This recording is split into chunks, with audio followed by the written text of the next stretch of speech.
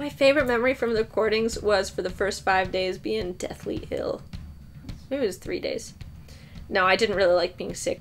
I was drinking honey and I had so many cough drops and but I really didn't have to do much, so I just kind of got to sit and watch everybody do stuff, and that was fun. It's always fun hanging out with Matt Patrick at the studio at the library. Uh, I would say probably my favorite memory would be having John Sievers come in and record trombone. It was our first time ever using brass. So it was kind of cool.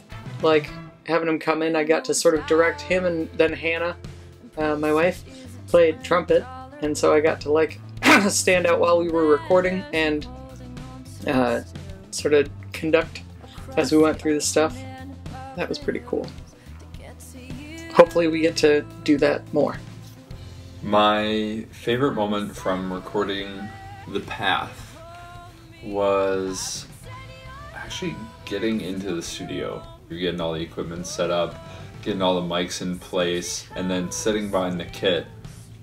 Once all that is done and you're ready to go, and Matt is about to press uh, start on the recording, is probably one of my favorite moments. My favorite moment from our time in the studio was probably when we recorded the very last note on the path. That whole project was just very intimidating, and it was a huge weight off my shoulders when it was all done. When we would start the songs like all together, I know that we recorded pieces like just focusing on drums or just focusing on guitars, but we would always start with like everybody playing together before breaking it apart. And that was just like the beginning seconds of every song when it was just like, oh wow, we're really doing this. I kind of just like the being able to go uh, go over to Matt's recording studio and just uh, have something to do, but still be able to hang out with everybody and, uh, as she said, play at the beginning all together, but then you know, be able to listen to people practicing their parts or going into the background to um, either help with recording uh, video in the back or just listening so you can remember what you're supposed to play. The Disciple Show was super stinking fun. Having like students and friends from the city I live in there and getting to show them our music was a lot of fun too. Um, I feel like a lot of the students uh, that I had at work didn't really know what my actual playing was like, and hopefully it was good. Seeing people's response to Django Fett. Like, we started that one, and I just kind of saw some, like, shocked faces across the crowd, like, what is this? Breakthrough never plays this. Is this even Breakthrough? And then the reception of it afterward like after we finished the song everyone went crazy. We got to do a whole bunch of dancing and that was i when we were learning how to dance i kind of thought it was a little stupid.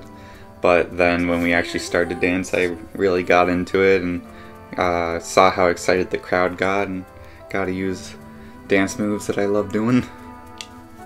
My favorite part was when we got to take out the kazoos and had a little like dancing with the kazoos. Those are fun. Anytime we brought out kazoos, people went nuts when we brought out kazoos. Kazoos are underused. Poor underused instrument doesn't get the recognition it deserves.